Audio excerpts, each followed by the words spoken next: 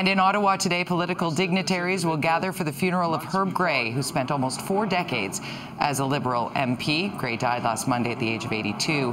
He held a number of cabinet posts before retiring from active politics 12 years ago.